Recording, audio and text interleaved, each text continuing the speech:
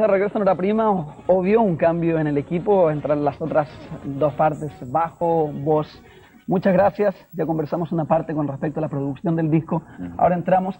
Sabemos que las dos personas tienen roles bastante específicos, ayer me contabas de la parte de Joaquín, en la parte gráfica, en lo que es el arte, y en tu caso se entendería las letras, ¿es así? Esa es tu, sí, sí. la dentro sí, las letras. Las letras siempre marcaban Eras del Silencio una, un, cambio grande con respecto a lo que se usa en el rock and roll, que es, como lo decías, el lenguaje callejero. Lo quieres llevar como a otro nivel. La gente ha dicho gótico, ha ocupado palabras muy grandes para... Sí, claro, la verdad es que la mayor parte del rock and roll en, en español pues tiene un nivel lírico pues muy de la calle. Que, que, es otro nivel del lenguaje que me parece muy interesante. Pero yo creo que no se había hecho o no se hace todavía pues lo que han hecho pues gente como Bob Dylan o Leonard Cohen o Morrissey o eh, John Lennon en, inglés no lo había hecho nadie en español. Entonces yo pues modestamente intento hacer algo. Todavía no he conseguido ni una parecida a, la que, a las que han hecho toda esta gente tan grande. Pero bueno yo estoy ahí intentándolo no y lo haces en español. Eso es también porque es tu primera lengua, que es obvio, y porque tienes alguna inspiración en ciertas cosas. Por ahí leí que habían unas referencias a poesía o a literatura en algunas de las canciones. Sí, sí, bueno, eh, siempre mientras estás componiendo, escribiendo letras para el disco, siempre yo estoy leyendo algún libro, ¿no? En este caso, pues en Opio yo estaba en la India y estaba escribiendo, estaba leyendo un libro de Pablo Neruda que se llama Memorial de Isla Negra un libro de poesía fabuloso. Y, y con respecto a Iberia Sumergida, por ejemplo, sí está... Gabriel Celaya es uno de mis poetas favoritos, es un poeta vasco y tomé el título prestado, aunque no la temática, porque la temática suya pues tiene una, una historia muy basada en el pueblo vasco y aunque yo tengo origen vasco, no, no, no la tomé, no quise nacionalizarme. ¿Te llama la atención, Enrique, entonces sería la sonoridad de las palabras, cierta fonética, cierta idea que, que las palabras conllevan? Sí, creo que se puede jugar con todo esto, se puede jugar con el, el sonido de la palabra, se puede jugar con, con, el significado de la palabra y con el significado entero de toda la canción. ¿no? Joaquín, nos ha llamado la atención y siempre se ha hablado, sobre todo a la altura de este cuarto disco, del hecho de que Héroes del Silencio en un circuito europeo se ha mantenido cantando en español. ¿Cuál ha sido, sería la música? Porque la música es la que conlleva, ¿cuál ha sido la razón por la cual han tenido éxito en Francia o en Alemania, en países que se supondría que querrían escuchar cosas más bien neutrales, anglo? Bueno, no hay, no hay una fórmula matemática que diga si haces esto tienes éxito en tal país o cual. Ha sido una mezcla de varios factores. Eh, empezamos en el 89 agarrando la furgoneta y y ya solo yendo a, pequeños clubs en Suiza, en Bélgica y Alemania. Entonces a partir de ahí se desarrolló lo que fue la base del éxito del grupo. Mucho trabajo por parte del grupo, apoyo más tarde por parte de la compañía y, y no sé, supongo que la música nuestra que ha influido también. Pero ha sido un proceso largo y difícil, pero vamos, ahí estamos y, de maravilla. Eso es una responsabilidad para ustedes ciertamente en la defensa de lo que es el, el, español, lo cual a ti Enrique te puede dar más argumentos para seguir escribiendo buenas letras o seguir acercándote a Lennon o a Cohen o, o, a quien lo desees, pero ya en el espíritu del vino nos había llamado la atención la lectura doble en, en lo que es el arte, en inglés y en, y en español. ¿Eso es por qué? Para que los europeos entiendan para que tengan una... Sí, bueno, hay muchas cosas que hacemos precisamente para que los periodistas no nos pregunten por ello. Okay. Porque nos cansamos de repetir siempre las mismas respuestas. Entonces, pues escribimos nuestros propios dossiers para, para decir, nos llamamos héroes del silencio por tal y por cual. Eh, trabajamos con Bob por qué tal y por cual. Y lo mismo con las letras. Intentamos que estuviera en español y en inglés para que no nos preguntaran, ¿pero de qué coño habláis en las letras? Claro. Pues, pues está ahí la traducción en inglés. Lee.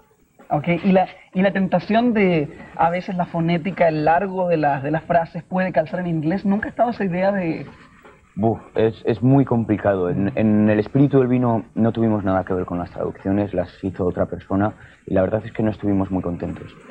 Con, en este disco eh, estuvo Alan muy centrado en, en hacer las traducciones y bueno, pues con, me, preguntaba a mí exactamente qué es lo que quería decir en cada, en cada momento y yo creo que están más, más cercanas a lo que nosotros eh, queríamos decir. ¿no? Quizás no son tan eh, lingüísticamente correctas en inglés, pero sí que están más cercanas al significado real de la canción.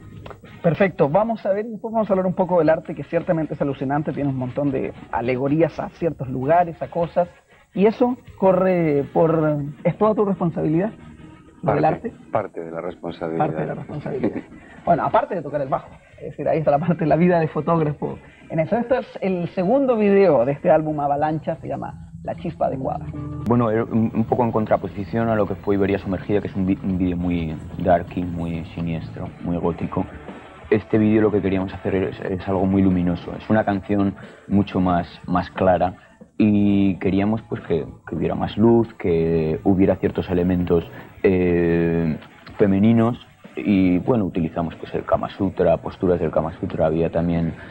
Eh, yo no me acuerdo qué es lo que hay en este vídeo. Así hay una mujer bailando, hay algo de hinduismo, pues porque introducimos, introducimos un citar en, en la canción. De todas formas, esto, los directores de vídeo, que son Factoría Clip, con los que hemos trabajado en los tres últimos vídeos, son los que realmente hacen su propia adaptación de la canción. ¿no? Mantienen una continuidad con respecto a lo que es la gente que está haciendo los videos. este... Sí, normalmente utilizamos los mismos para todo un álbum. ¿no? En este disco hemos hecho lo hemos hecho todo con Factoría Clip, en el anterior lo hicimos con mi hermano, en, en Senderos lo hicimos con Alberto Estiama, que es un director que ahora va a sacar su primera película. Ok. Ahora hablemos que está muy cerca la imagen del video con la imagen de la, de la fotografía, con el arte, aunque nos encontramos que esta versión estaba un tanto cercenada, no era tal cual como la original. ¿Qué es lo que...? Hay muchas imágenes, son, son muchas y se podrían interpretar de mil maneras diferentes. ¿Qué es más o menos lo que se trató de mostrar en este arte, en el de Avalanche? Mm, bueno, son una serie de fotografías que han ido reflejando un poco lo que hemos ido viviendo a través de las giras.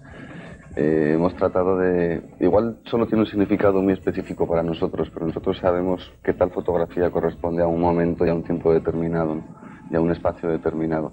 Y era tratar de, como de asignar, en, este caso no coincide exactamente con las canciones, pero era como asignar a cada canción una fotografía que para nosotros quiere decir algo especial.